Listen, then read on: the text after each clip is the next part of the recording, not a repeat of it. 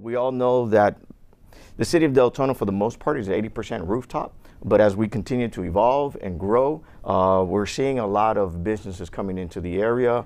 Um, if we look at the north side off of Howland Boulevard, where we have the hospital, we have Amazon, there's other adventures that are coming right. into that area. Um, and but one of the things that I want to talk about, and by the way, um, we've made it to Florida Trend. Uh, this month's Florida Trend, um, there's actually a nice spread from page 44 to about 54 Look at that. that talks about the Great Daytona region and Volusia County, and it talks about Deltona. That's it talks awesome. about our trails. It talks about Amazon. It talks about all the op opportunities they have with the land available that we have Yeah. off of I-4, which I think is key to everything. It so a lot of people say, well, how did you land Amazon? Well, I, I think it was a blessing. We're right off of I-4.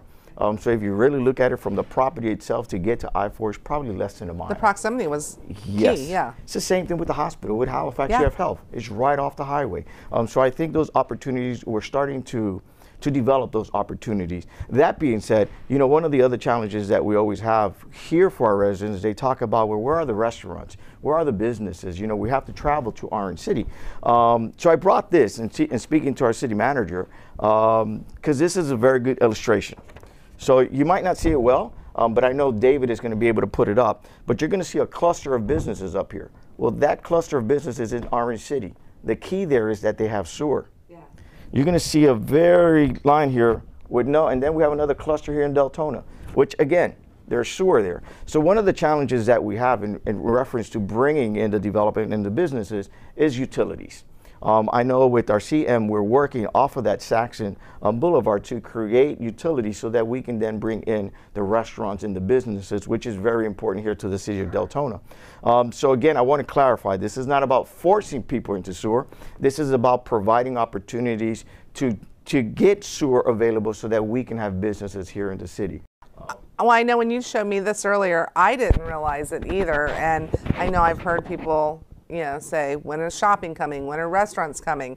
This makes sense. And I think a lot of people, the general public, don't realize what the holdup is. And seeing a map like this, I think will really explain it to you. Because obviously, a big business can't come in and have a septic tank. Exactly. And um, so this is a wonderful And, layout. and one of the other things uh, as well, when we talk about restaurants and things like that, you know, restaurants do the bulk of their money during lunch. Yeah. So if we don't have a lunch crowd, it's very Right. difficult for any business to come here. So if you notice, yes, we've had some fast food restaurants, especially off of I-4 around the hospital, around Amazon. Again, because it provides somewhat of a lunch crowd.